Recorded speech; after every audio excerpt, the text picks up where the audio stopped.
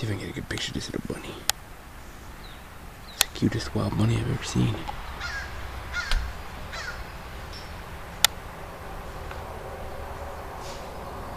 It's gotta be domesticated.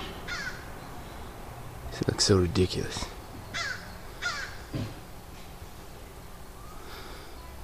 Today is the day of the great, great salmon festival. Sorry, it's shaky. Zoomed way in. Here's my campsite. Leave as if I was never there.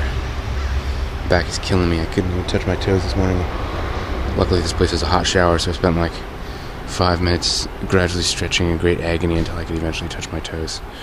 Hopefully, that helps my neck uncramp a bit. Very cute bunny.